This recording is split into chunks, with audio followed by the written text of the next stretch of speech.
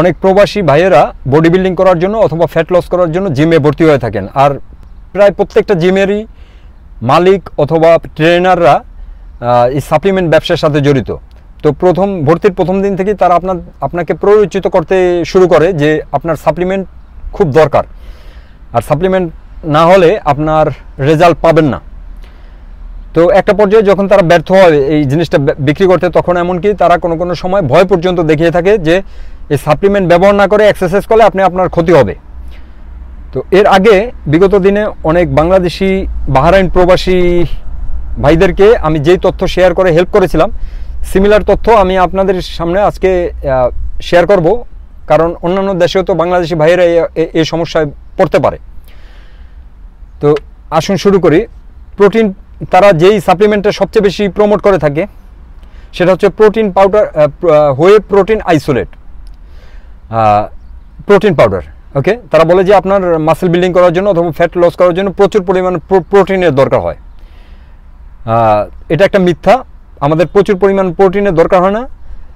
আমাদের মডারেট আর কি মডারেট অ্যামাউন্ট আপনার হাই কোয়ালিটি প্রোটিনের দরকার আমাদের শরীরে। প্রচুর পরিমাণ প্রোটিন হলে আমাদের লিভার এবং কিডনিকে প্রচুর সমস্যায় পড়তে হয়।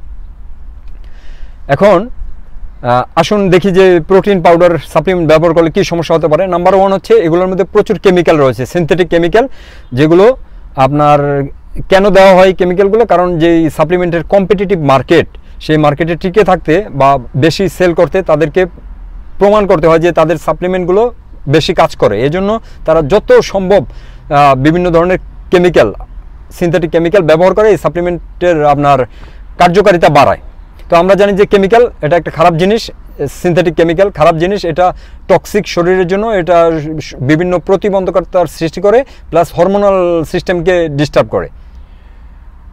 নাম্বার টু হচ্ছে, এই সাপ্লিমেন্টগুলোর মধ্যে প্রচুর আপনার সিনথেটিক ভিটামিন এবং মিনারেল ব্যবহার করে থাকে। ওকে যেগুলো খাবার থেকে সংগৃহীত না। এগুলো সিনথেটিক্যালি ল্যাবে বানানো হয় সায়েন্সের ল্যাবে বানানো হয়, সেখান থেকে এগুলো ব্যবহার করা হয়। তো আমরা জানি যে যে কোনো সিনথেটিক ভাইটামিন এবং মিনারেল শরীরে প্রবেশ করলে শরীরে জমানো, আগে থেকে জমানো যেই ভাইটামিন এবং মিনারেল রয়েছে, সেগুলো শরীর থেকে বের হয়ে যায়। নাম্বার থ্রি হচ্ছে আপনার whey protein isolate isolate means যে হোয়ে মিন্স হচ্ছে আপনার দুধ দুধ জাতীয় খাবার থেকে এই প্রোটিনটা তারা বের করেছে। আর এই মানে দুধের মধ্যে তো আপনার প্রোটিন আছে ফ্যাট আছে কার্বোহাইড্রেট আছে তো ওই ফ্যাট এবং কার্বোহাইড্রেটকে সরিয়ে শুধুমাত্র প্রোটিনটাকে রেখেছে এই জন্যই বলা হয়েছে আইসোলেটেড হয়ে প্রোটিন আইসোলেট তো আমরা জানি যে প্রোটিন যত বেশি আইসোলেটেড হবে, তত ইনসুলিনের স্পাইক বেশি ঘটবে। আর ইনসুলিন হচ্ছে number one fat making hormone এটা এটা মানুষকে ফ্যাট বানায় এবং কেউ যদি ফ্যাট লস করতে চায়, এই এই হরমোনটা তাদেরকে ফ্যাট লস করতে বাধা দেয়। আর যত ক্রনিক রোগ আছে, যেমন ডায়াবেটিস ব্লাড প্রেশার ক্যান্সার এগুলোর সূচনা হয় আপনার শরীরে অতিরিক্ত পরিমাণ ইনসুলিনের মাধ্যমে।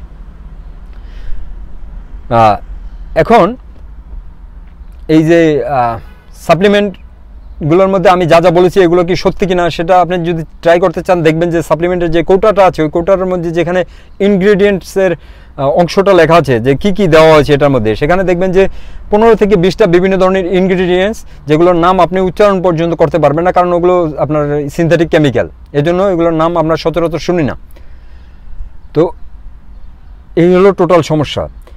এখন আমার প্রশ্ন হচ্ছে, আপনি কেন ওই সাপ্লিমেন্টটা ব্যবহার করতে যাবেন? আপনার কি ন্যাচারাল খাবার কি আপনার আশেপাশে নাই?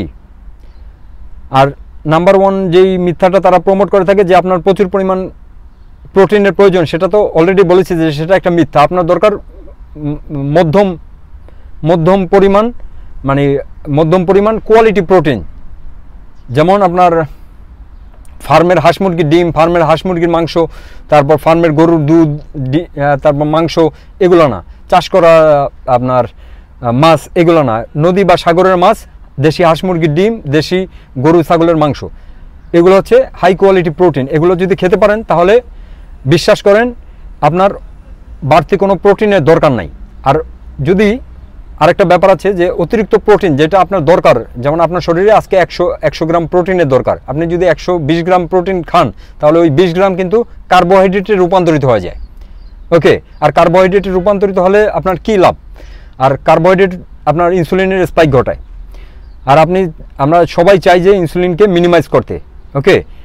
সেই ক্ষেত্রেও দেখতে পাচ্ছেন যে অতিরিক্ত প্রোটিন পাউডার ব্যবহার করে কোনো লাভ নাই। শরীরের যতটুকু প্রয়োজন, শরীর ততটুকু নেবে, তার বাকিটা কার্বোহাইড্রেটে রূপান্তরিত করবে।